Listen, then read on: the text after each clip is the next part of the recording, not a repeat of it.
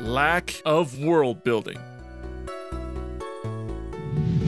Part of what made G4 so fascinating were all the cool, bizarre, and fascinating places that were scattered around Equestria. Every location felt unique, such as rural Ponyville, Cityscape Manehattan, the treacherous lava-filled Dragonlands, and so on.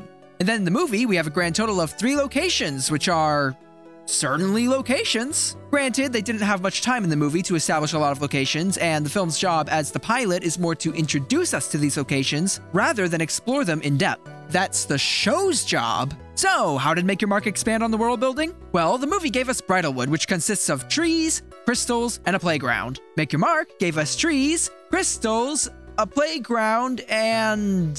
uh. dirt? Grass? What else? What else? Uh, uh, oh, the, the Together Tree. I guess that's something. The same can be said about Maretime Bay and Zephyr Heights. What little the movie established, the show did not expand upon. But what about new locations? Well, let's take a look. We have the Dragonlands, which consists of plants. We have Opaline's Castle, the Breezy's World, which is a shopping mall. And we have Grandma Figgy's. That's it. That's all the world building we get in terms of new locations. Does the Dragonstone Mountain count? Still part of the Dragonlands, so no. But yeah, the most that Maretime Bay ever did was reuse Canterlogic as this weird creative studio, but that never went anywhere. Bridlewood's Night Market was mostly just a big plot device to give Sunny the Deus Ex Machina of the Locket. Zephyr Heights, um, it got a new tree? Besides our core location, Starlight Ridge is pretty much the only interesting looking place in all of G5. Both the village and the ponies that lived there had a unique look. I love the atmosphere of the place with all the star flares and the Aurora Borealis. It was great. Unfortunately, we've only been there once and we'll never go back there again. The Isle of Scaly was also very disappointing. It just looked empty. For an entire island that's purportedly meant to have dragons everywhere, we only see a grand total of six poorly designed dragons, minus the ones captured by Opaline, and we learned virtually nothing about the location. And that's pretty much it. Alright, on to the next one. G4 to G5 inconsistencies. So, ever since G5 came out, fans notice a lot of inconsistencies with how much the world of Equestria has changed. Now, this wouldn't be a problem if G5 was its own thing, but because it is a direct sequel, the problems are much more apparent. Now, the technology aspect I never really had a problem with. As we theorized in my G4 to G5 timeline video, where I figured out it's been anywhere from 70 to 150 years since Twilight's rule, which is more than enough time for technology to excel to the point where cell phones, TV, and social media would exist. That's fine. What I'm referring to is things like how are the sun and moon rotating on their own without Luna, Celestia, or Twilight? Was Twilight just really lazy and created a spell to make it automatic? And where are the changelings, Kirin, hippogriffs, or any of the other creatures that inhabited the world? Why do dragons no longer need extreme levels of heat or a magic spell to hatch? Why do they have wings when they hatch? What about magic? And I'm not just talking about any specific spells, by the way. I'm just talking about all magic in general. Ponies no longer need to study to learn magic. Cutie marks no longer necessarily representing one's special talent or being earned through that talent. Also, the fact that cutie marks can now do anything from growing trees to amplifying freaking sound. The list of inconsistencies with G4 just goes on and on and on. And every time a new one is added to the list, it breaks the illusion of the story and suspension of disbelief, taking the viewer out of the story and destroying what little engagement they had. Lackluster songs. Friendship is Magic had so many great memorable songs from Winter Wrap Up, Art of the Dress, In My Head Like a Catchy Song, Super Speedy Cider Squeezy 6000, Apples Forever, and so much more. And they ran the gamut from orchestral to country, rock, pop, polka, even rap. The new generation movie, for the most part, also had some pretty good songs. The weakest one probably being Looking Out For You, but otherwise they were upbeat, catchy, with my favorite being Fit Right In and the Angry Mob song. And then we move on to Make Your Mark. The movie really set high expectations with a wide variety of music with different instruments, fun visuals, creative lyrics tying into the plot, and characters. Make Your Mark, meanwhile, gave us pop and pop and maybe hip hop? Ooh, hip hop. There were a couple of standout exceptions, however. Portrait Day, while way too short and only coming to a minute long at full length, was really good for what it was. Opaline's villain song, while not the most interesting lyrics wise, at least had a unique sound to it and wasn't as generic as all the other songs in the show. There was also Sparky's Lullaby, which was almost a really good and sweet moment until it was ruined by butt speakers. You hear that sound?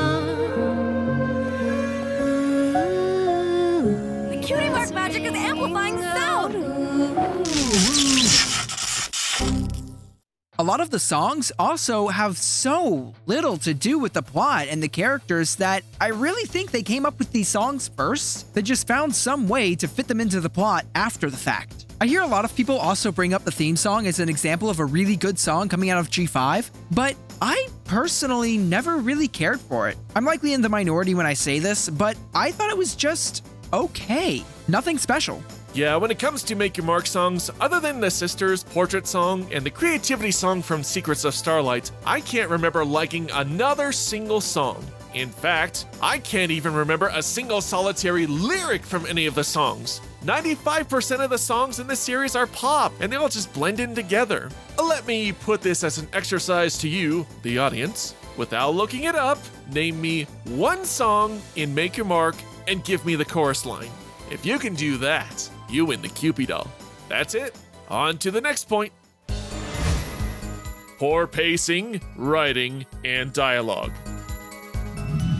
Now, I will be fair. Friendship is Magic did have its fair share of weak or bad episodes, with dialogue, character quirks, or story flow that feels rather forced or unnatural, leading to complete and utter disappointment. But for the most part, G4 managed to create interesting and unique stories, all the while having fun and clever moments that made this series so good. Make Your Mark scripts are an absolute train wreck, Every episode has moments of long, drawn out dialogue that takes seemingly forever to accomplish a simple thing, or even tons of superfluous dialogue that just wastes the audience's time. There are many scenes I can pick out, but here are a few that really stood out. I don't like karaoke. It's the worst. Ugh. Hey, you take that back. Karaoke is a fun activity for every age and skill level. Zip's allowed to like what she likes. Just because we enjoy something doesn't mean she has to. Air from clouds. Special clouds. That's right, uh, clouds. It's a traditional Pegasus gift. How fascinating and clever. What kind of clouds? Nimbus? Cumulonimbus? Cirrus? Rain cloud? Who would do something like this? Her name is Opaline, and she's. Oh, Opaline! Yeah, yeah, of course, of course. Chopped You know, I was really racking my mind, like, who really would do something like this? Okay, yeah, no, that makes sense. Continue. Izzy, who else did you think would do this? Honestly, uh, shut up. I've always been a little suspicious of Hitch's crab friend, McSnips a lot. He's just so pinchy. I can't believe you don't shut up. If I could pick the single most forced line of dialogue from the show, it would have to be the exposition dump with Opaline explaining how she found Misty as a child, took her in, and how she owes her for the rest of her life. You've been gone so long, I thought you got lost. Like the time I rescued you as a filly. So kind of me to do that. Everybody got that? Also, I don't know if this counts as a pacing problem exactly, but it's something I noticed that really bothered me in Chapter 5. Misty grabs the magical key for the first time and gets whisked away to an unknown location. Then the episode ends off with a cliffhanger. Next episode, and it turns out she was just teleported to a nearby location in Bridlewood. No explanation, no follow up, she was literally just whisked away for a cheap cliffhanger that does nothing more than waste the audience's time. This is the equivalent of ending an episode of a show where there's a mysterious knock on the door. Sophia then gets up to answer the door. Tense music builds up as she grabs the knob, and episode ends. Next episode, she opens the door and it's the pizza man bringing anchovies and broken dreams. Here's a different scenario with the pizza man example where the cliffhanger is done right. Sophia gets up, she turns the knob, opens the door, and sees her long lost father, who she thought has been dead for 10 years, standing there. Roll credits.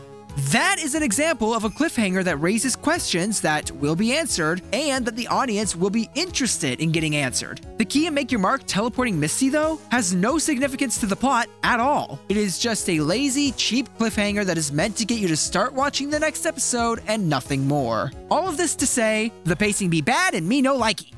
Again, G4 was ostensibly a show for children, but really did it feel like it was talking down to its audience. This allowed kids and adults to enjoy the various interactions, even relating to dilemmas that the characters were going through, creating this organic symbiosis between the characters and the audience. That level of brilliant writing is not found in Make Your Mark.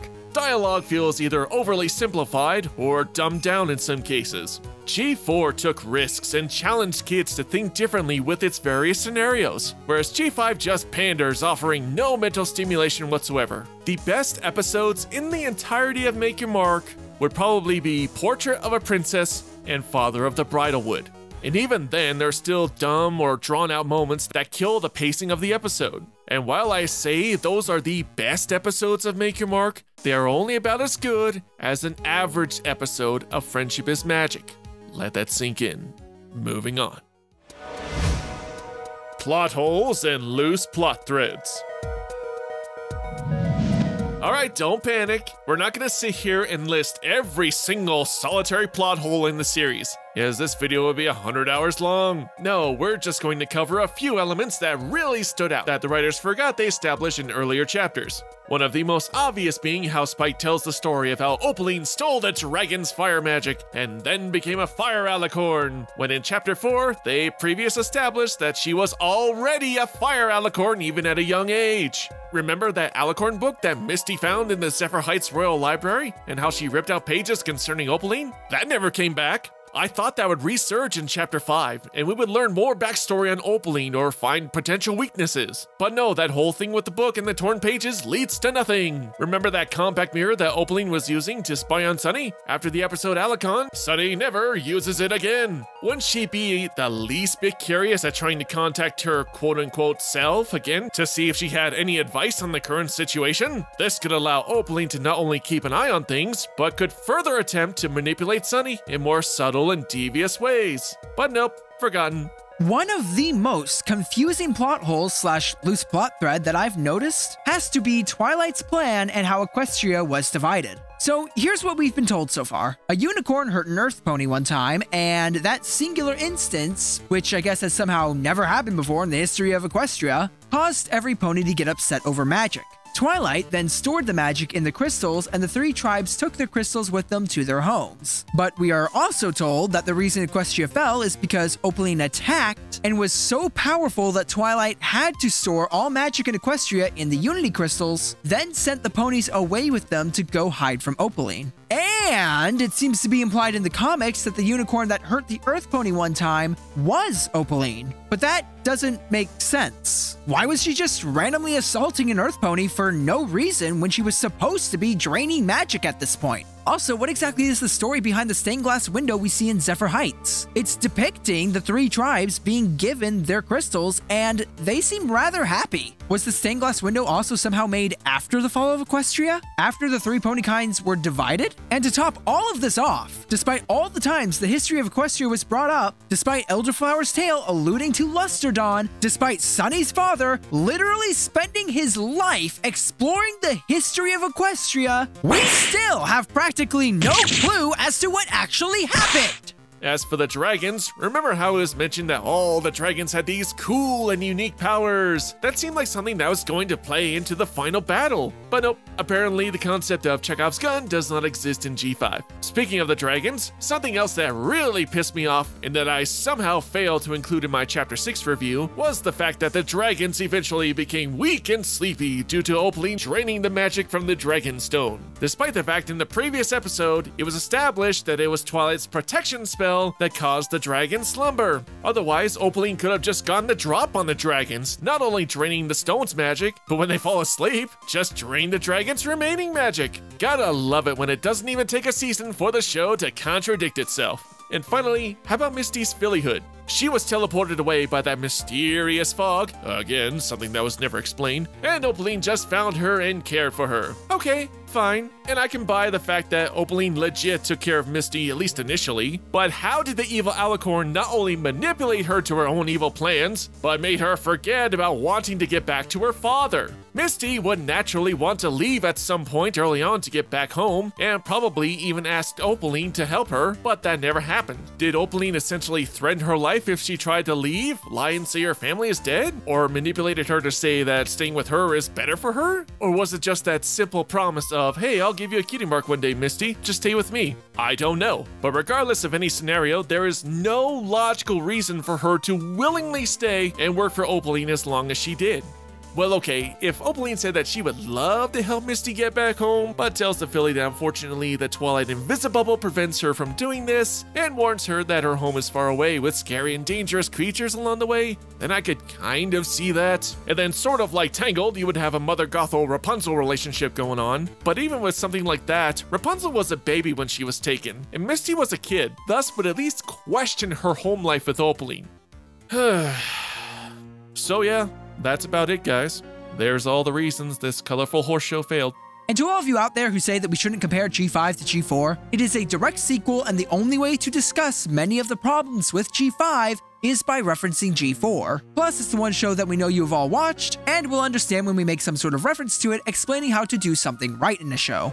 I had such high hopes for this series after the movie gave us a fun introduction to the new generation, but unfortunately, that's just not the case. Make Your Mark is an uninspired, derivative, poorly written, absolute disappointment train wreck of a series. I kind of knew that G5 would never live up to the hype of G4, but I was hoping it would still be a fun, entertaining series, but for the most part, I'm just bored. If you guys like the series, that's fine. But for me, unlike Friendship is Magic, Make Your Mark is a show I will never watch again for fun. So now I ask you, the audience. With Make Your Mark concluded, what did you think about the series as a whole? Did you think it was a worthy successor to Friendship is Magic? Did it completely fail in your eyes? Or do you just have any other interesting observations about Make Your Mark in general? Let us know in the comments below, and be sure to hit the subscribe button for both of our channels.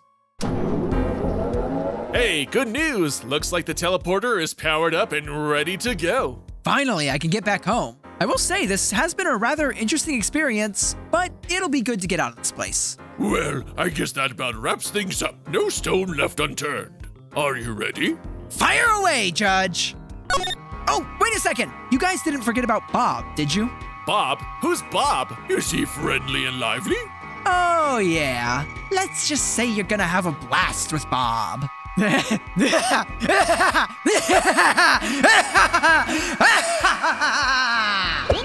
I hate him.